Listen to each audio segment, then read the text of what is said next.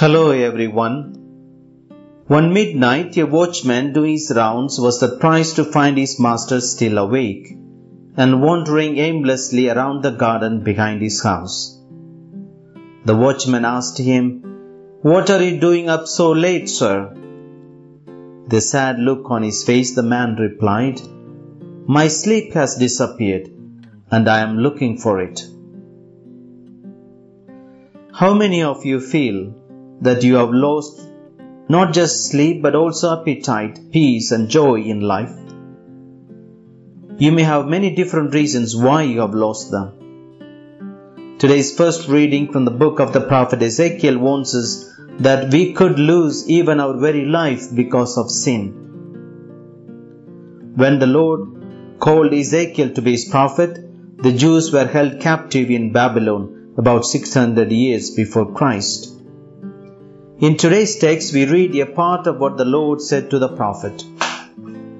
The Lord compared Ezekiel's work as a prophet to that of a watchman. In ancient days, the city would have a wall around it to afford better protection from enemy attacks.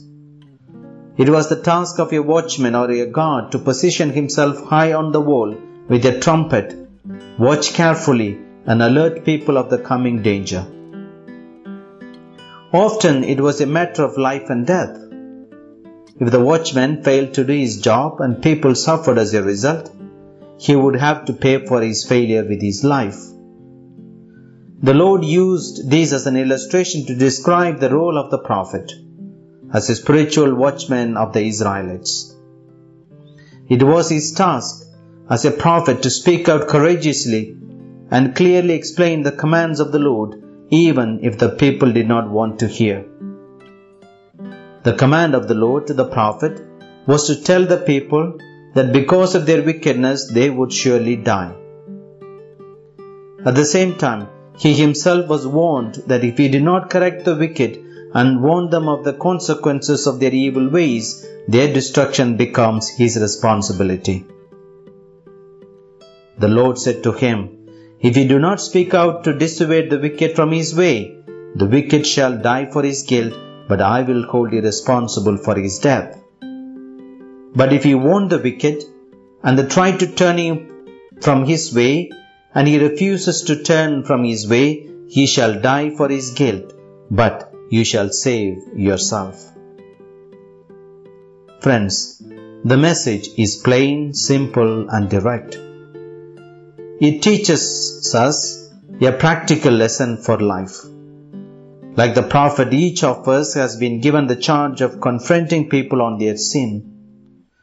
The Lord wants us not only to avoid sin and pursue holiness, but also wants us to help others grow and remain faithful. There is no doubt that we all sin and are imperfect. But sin affects all of us, both when we sin and when others sin.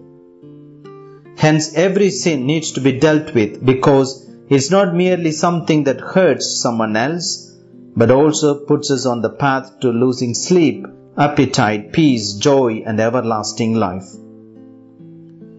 When our sins are pointed out, some of us have the courage to change, whereas many others enjoy living in sin and do not intend to give it up.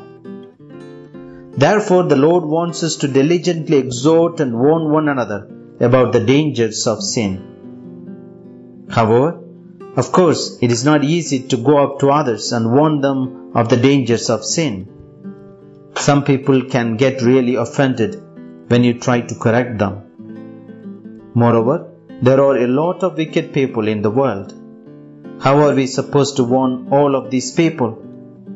The prophet Ezekiel was called to primarily warn the nations of Judah and Israel, and then other nations surrounding them. So too, God has not called us to warn every sinner that crosses our path, but rather holds us accountable to be faithful watchmen to those in whose midst He has placed us. And we are not also called to a prophetic ministry like the prophets. A prophet has a unique and special vocation. So also we all have been given special vocations. For instance, as a priest, I have the obligation to call on people from all walks of life to repent of their sins, even if they do not want to hear it. Our church must speak out boldly concerning issues that are core to our beliefs.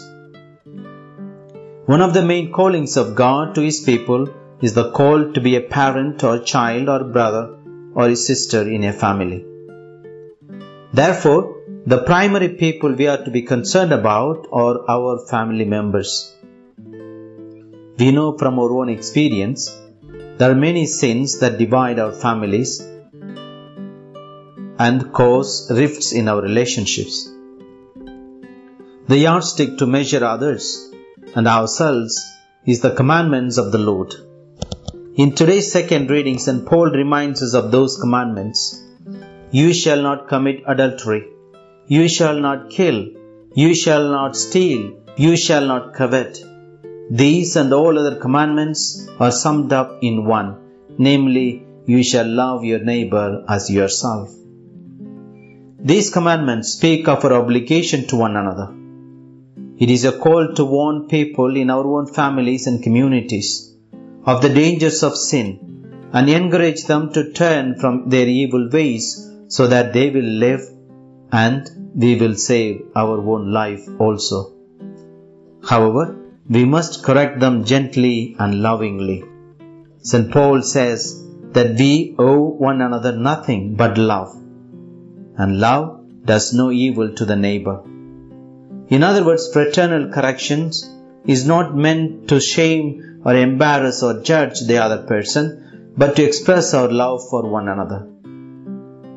Many of us do not want to confront people about their sin for two reasons. One, we are afraid of losing friends and our relationship. 2. We feel that we have no right to control people's lives or impose our values and beliefs on them. Friends, today we are warned that if we do not warn one another of the dangers of sin and help one another to grow and remain faithful to God, we will die in our sins and the Lord will hold us responsible as well for our failure to warn others of their sins. Amen. God bless you.